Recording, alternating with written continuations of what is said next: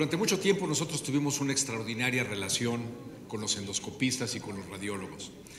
pero sin duda esta relación se hizo muchísimo más intensa cuando descubrimos de que podían corregir la gran mayoría de problemas que nosotros ocasionábamos. Y eso es lo que voy a mostrar eh, fundamentalmente a continuación. Ustedes saben que existen diferentes intervenciones para los pacientes que tienen obesidad mórbida y de estas en la actualidad las que se utilizan con mayor frecuencia son la gastrectomía vertical en manga y el bypass gastroyeyunal.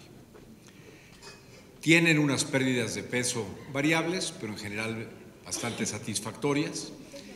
Sin embargo, se pueden asociar alguna serie de complicaciones, que es el objetivo de esta presentación. Además de analizar las complicaciones de estas dos, Voy a mencionar dos complicaciones de la banda gástrica ajustable que aunque es un procedimiento que ya prácticamente ha quedado en desuso, todavía hay pacientes que tienen bandas colocadas y todavía nos toca ver algunas complicaciones producto de estas bandas. Iniciaré con las complicaciones que tienen la banda gástrica y probablemente la complicación más seria que tenga es la erosión, que consiste en que migre la banda hacia el interior del estómago esta puede ser asintomática, puede dar síntomas acidopépticos, puede eh, ocasionar solamente imposibilidades de ajuste, abscesos sufrénico o una infección crónica del puerto. Y es una manifestación clínica bastante frecuente cuando uno identifica de que el paciente tiene una infección, infección repetida en el puerto. Su frecuencia va disminuyendo conforme pasa el tiempo y así vemos que después de los cinco años es muy raro ver ya este tipo de complicación, probablemente por eh, la zona de fibrosis que se forma alrededor de la banda. El tratamiento de esto requiere necesariamente quitar la banda. La mayor parte de estas extracciones se hacen por endoscopía. Los endoscopistas identifican muy bien los pacientes en los que es relativamente fácil extirparla, que son aquellos en los que la hebilla está dentro del estómago, que tienen más del 50% de la banda dentro del estómago. Puede haber necesidad de quitarla por cirugía, la gran mayoría de las ocasiones laparoscópica y generalmente se realiza un procedimiento bariátrico adicional en un segundo tiempo para no trabajar en un abdomen contaminado. Esta sería la imagen de la eh, excisión de una banda a través de endoscopía. Vemos que los pacientes, cuando se les quita una banda gástrica, tienden a recuperar el peso y que por eso es muy importante ofrecerse un procedimiento posterior y esto generalmente es un bypass gástrico, considerando de que ya tuvieron eh, complicaciones de un procedimiento restrictivo y que está dañada la parte cercana al cardias. La siguiente complicación que todavía podemos ver de las bandas es el deslizamiento, dependiendo de la zona donde se deslice, como en todo se hacen clasificaciones, pero lo único que implica es que hubo una parte en la que tuvo mayor movilidad. El diagnóstico generalmente se establece por endoscopía, aunque una serie gastroduodenal también puede ayudar y aquí vemos que la mayor parte del estómago está en la porción superior de la banda, lo cual habla de este deslizamiento y aquí como al cortar la banda mejora el estómago. Dependiendo de las características endoscópicas, y esto me refiero a si existe o no erosión, puede tratarse de diferente manera. Cuando está asociada a erosión, hay necesidad de quitar la banda. Esta es una diapositiva todavía de la época en la que se utilizaba la banda con mucha frecuencia y por eso se habla de recolocar la banda. En la actualidad, la mayor parte de los pacientes que tienen cualquier complicación de la banda se retira la banda y se convierten a otro procedimiento quirúrgico. Si hablamos ahora de las intervenciones que conllevan sección, engrapado, la principal o la complicación más frecuente que podemos tener es sangrado. Esto ocurre con una frecuencia entre 1 y 4%. En el caso de los pacientes con bypass puede provenir del reservorio gástrico, del estómago excluido, de la anastomosis gastroyeyunal o yeyuno yeyunal en los pacientes con manga solamente del sitio en donde se hizo la sección. puede manifestarse como un sangrado intraluminar o extraluminal y Generalmente ocurre en forma pasiva, es decir, después de las 48 horas, dado por melena con signos vitales y hematocrito estables y es sangre vieja de la intervención. Pocos pacientes pueden presentar en las primeras seis horas y la importancia de identificar estos pacientes es porque aquellos que tienen un sangrado activo usualmente requieren una reintervención quirúrgica que se hace también generalmente por vía laparoscópica para colocar clips o suturas. Se ha buscado el diagnóstico de esto mediante endoscopía, sin embargo, aunque existen series que demuestran que las endoscopías son bastante seguras en las primeras 48 horas y que se realizan en muchos pacientes durante la intervención, ya el hecho de que no tenga el control laparoscópico hace que en muchas ocasiones se prefiera no hacer una endoscopía con un tiempo de evolución tan corto. Quizá la complicación a la que más le tenemos miedo por las implicaciones que tiene es la presencia de una fuga, es decir, un sitio en el que no cicatrizó eh, la línea de grapas o la sutura de manera apropiada. Esas pueden ocurrir en forma precoz, entre el primero y el tercer día, entre el cuarto y el séptimo día. Las primeras generalmente tienen que ver con la técnica quirúrgica, las siguientes con la presencia de isquemia, pero también pueden presentarse en forma tardía. Si nosotros vemos la frecuencia, en lo que se refiere, por ejemplo, al bypass, la fuga se presenta alrededor del 1% de los casos. Conforme se ha adquirido mayor experiencia con la intervención, esta es una, una, complicación que va reduciendo de manera significativa. Y aquí trato de ejemplificar diferentes tipos de sitios en donde puede provenir la fuga y cómo sería su imagen radiológica. De estos eh, pacientes, eh, muchos de ellos requieren reoperación,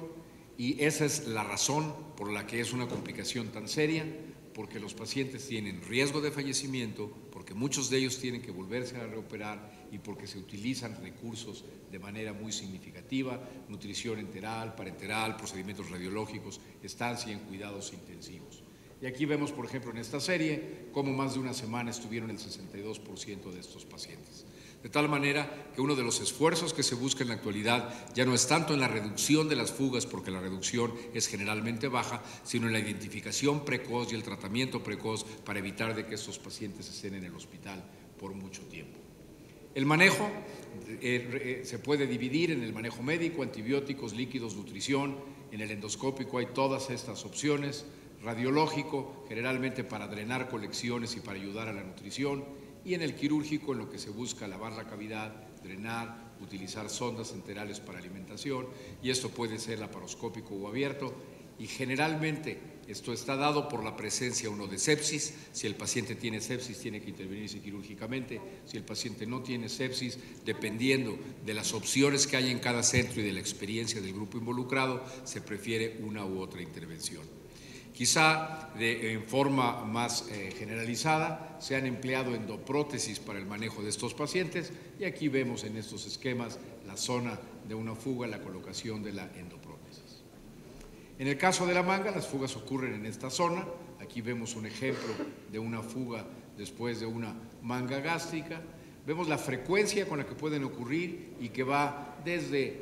menos del 1% hasta 3%, lo cual está relacionado con la técnica quirúrgica y con la experiencia del grupo que le realiza. Y nuevamente, dependiendo del desarrollo o no de sepsis, los pacientes requieren una intervención quirúrgica o no requieren una intervención quirúrgica.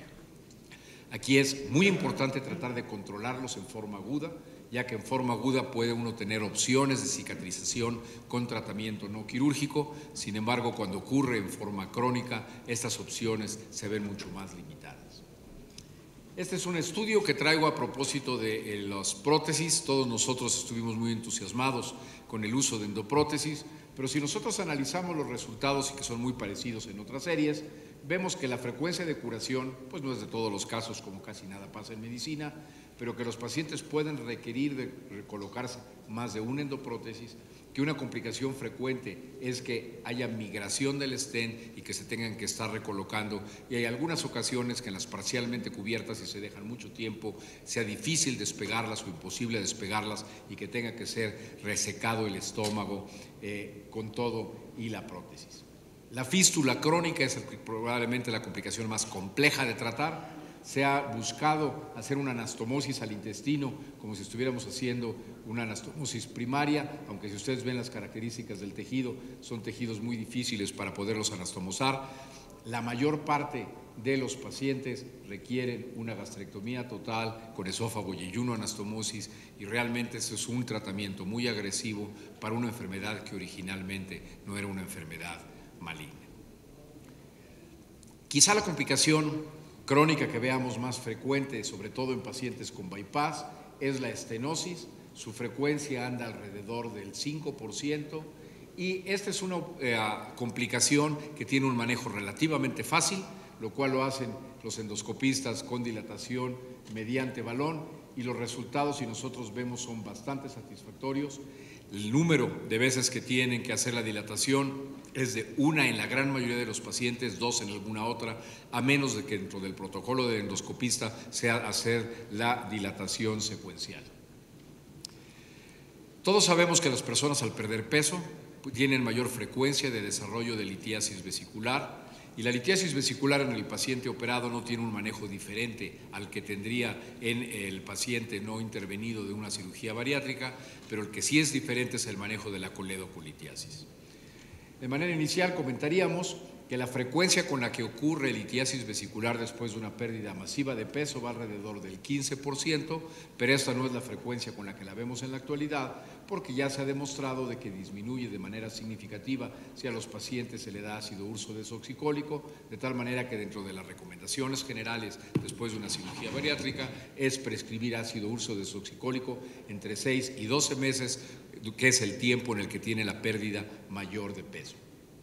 Para el tratamiento de la coledocolitiasis puede hacerse un ah, drenaje percutáneo, pero la gran mayoría de los pacientes se hace laparoscópico transgástrico, colocando el endoscopio dentro del estómago y haciendo después lo que sería el mismo procedimiento de una CEPRE o bien utilizando el endoscopio de doble balón. Aquí vemos un estudio en el que se hace la comparación entre ambos y supera la eficiencia que hay cuando se hace el procedimiento combinado de la paroscopía con la inserción transgástrica del endoscopio y que probablemente la razón sea porque es mucho más sencillo hacerla, porque el número de centros que tienen endoscopios de doble balón no es muy alto y porque la experiencia que tienen muchos endoscopistas con este procedimiento tampoco sea muy alto. Y aquí vemos también los costos, los costos pueden ser parecidos y esto es algo que a mí no me gusta discutir mucho porque en cada hospital y en muchos sitios los costos son diferentes. Cuando vino la cirugía laparoscópica encontrábamos que resolvió una serie de problemas y que hizo que los pacientes tuvieran una evolución mucho más sencilla de su enfermedad. Sin embargo, uno de los efectos adversos que tuvo es que al no formarse adherencias intraabdominales se podrían desarrollar hernias internas y que si se hace un avance retrocólico de un asa para un bypass, tenemos tres sitios potenciales, el sitio del orificio donde quedó eh, avanzada el asa alimentaria, por detrás de esta que se llama espacio de Petersen y donde se hizo la anastomosis yeyuno-yeyunal. Cuando el avance es antecólico, solamente tenemos el espacio de Petersen y el yeyuno-yeyunal. Esta es un cuadro que puede manifestarse de manera aguda, pero que puede dar dolor crónico y que tiene uno que tener cierta agudeza, poder identificar el paciente que se está obstruyendo de manera intermitente. El diagnóstico generalmente se hace con una tomografía en donde se ve esta imagen de espiral, en donde el intestino aparenta que no está eh, bien colocado. Se ha reducido su frecuencia de manera significativa una vez que aprendimos que había que hacerse un cierre meticuloso de los defectos. Esta es una serie nuestra en donde vemos 15% de obstrucción sin cierre de defectos, 0.5% de obstrucción una vez que se han cerrado los defectos. Y la intervención cuando hay una hernia interna consiste en reducir la hernia, cerrar los defectos con material no absorbible, dependiendo del sitio en donde se realiza, esto se puede practicar abierto o se puede hacer por la paroscopía. Tomando en cuenta el largo tiempo de evolución que tiene ya la cirugía bariátrica, empezamos a ver una complicación que no ocurre durante los primeros años, que ocurre generalmente en pacientes que han sido operados de más de 5, más de 10 años y que es el desarrollo de úlceras marginales. Estas úlceras que pueden eh, presentarse tanto en la vertiente yeyunal como en la vertiente gástrica de la anastomosis gastroyeyunal, que pueden tener diferentes formas de presentación y que inclusive pueden perforarse en algunos casos. Aquí vemos eh, eh, la frecuencia con la que ocurren estas úlceras en pacientes que fueron llevados a cirugía primaria o cirugía de revisión y vemos cómo va aumentando con el tiempo. Se han mencionado que pueden existir diversos factores entre la etiología, tabaquismo, AINES, eh, Helicobacter pylori, reflujo biliar, tensión, sutura no absorbible. Y si esta plática la estuviera dando el doctor Baldovino, seguro diría que también la microbiota tiene que ver en la formación de las úlceras. El tratamiento se puede hacer con inhibidores de bombas de protones si se demuestra que hay ácido en el sitio de la anastomosis, sucralfato, colestiramina cuando el reflujo es biliar. En algunas ocasiones se retiran las suturas. Estas anastomosis fueron hechas con suturas no absorbibles durante mucho tiempo. Puede eh, necesitar de la colocación de argón plasma y cuando son refractarias a todos esos tratamientos, a nosotros realmente nos toca una misión difícil porque la resección vuelve a formar la anastomosis y probablemente en 5 o 10 años vuelva a tener la misma evolución. Se ha intentado hacer vagotomía con resultados variables o resecar el estómago nativo para que de esta manera lo que fue un síndrome muy conocido por los cirujanos que nos enseñaron a nosotros a operar, que era el de antro retenido, se pudiera controlar al hacer la resección del estómago excluido. Ahora, otra de las áreas en donde la endoscopía nos ha ayudado mucho es en aquellos pacientes que tienen reganancia ponderal. Sabemos que una anastomosis gastroyeyunal y un reservorio gástrico, por pequeño que lo dejemos y en la curvatura menor, tiene una tendencia hacia crecer y la anastomosis hacerse más amplia. Y que en las mangas gástricas no existe un consenso de cuál es el diámetro que debe de tener la manga y estos se realizan con diámetros muy variables y en sitios muy diversos tomando en cuenta su localización en relación al pilo. Pero que también, independientemente de qué tan cerca lo haya uno hecho de la curvatura menor, existe una tendencia a que se puedan elongar. Para eso se han utilizado una serie de recursos que van desde eh, la infiltración de sustancias, la quemadura con argón, ahora estos nuevos dispositivos de sutura que permiten reducir el tamaño tanto del reservorio como de las anastomosis. Los resultados que se han informado a seis meses y a un año son verdaderamente sorprendentes, pero estos pacientes tienen muy, un tiempo muy corto de eh, seguimiento. Una de las ventajas que se esgrimen es que esto se puede repetir tan seguido como sea necesario eh, sin embargo, pues tenemos que tomar en cuenta de que todo, aunque sea pequeño, tiene un riesgo y que, aunque sea grande, también tiene un costo. la posibilidad de tratamiento repetitivo y la falta de otras opciones es lo que hace que la mayor parte de estos pacientes o que de los médicos estemos buscando una opción que no sea quirúrgica. Aquí vemos los resultados informados en algunas series y como pueden ustedes ver, el éxito es alto, pero los seguimientos, como mencionaba yo, son seguimientos muy cortos por los que habrá que ver cuál es el procedimiento que mejor se realiza. Es relativamente frecuente que después de una intervención los pacientes tengan ciertos síntomas gastrointestinales que no son muy específicos y que sean referidos a algún gastroenterólogo o a algún endoscopista con la finalidad de ver qué es lo que ocurre en esta población de pacientes. Y ese es un estudio que muestra qué es lo que nosotros podríamos esperar cuando se hace una endoscopía después de cirugía bariátrica. Están agrupados pacientes con manga y pacientes con bypass y nosotros vemos que en un grupo de 350 pacientes a los que les hicieron, 306 pacientes a los que les hicieron los estudios, lo que predomina es el desarrollo de reflujo puede verse estenosis, en algunos casos es reflujo ácido, en algunos otros es reflujo biliar, en algunas otras ocasiones es solamente regurgitación de la comida, pero que este, eh, son pacientes que desarrollan síntomas y que dependiendo de estos hallazgos, los gastroenterólogos nos ayudan de manera significativa a mejorar sus condiciones generales. De esta forma, espero haber podido revisar para ustedes en forma rápida las dos complicaciones más frecuentes de las bandas gástricas, que son erosión y deslizamiento, así como las frecuencias de los procedimientos que conllevan grapas o sutura y que son sangrado, fugas, estenosis, litiasis biliar, hernias internas, úlceras marginales y reganancia ponderal. Muchas gracias.